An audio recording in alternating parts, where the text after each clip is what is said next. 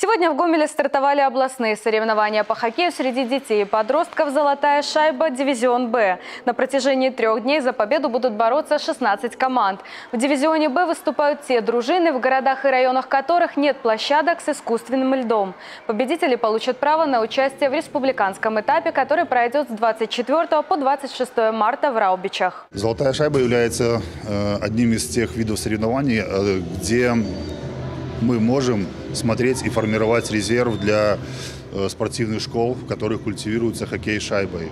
Э, Приятно видеть, что в районах, в которых нет ледовых э, катков, площадок, дворцов, имеются те специалисты, педагоги, которые могут научить каким-то азам, навыкам ребенка стоять на коньках и играть в хоккей.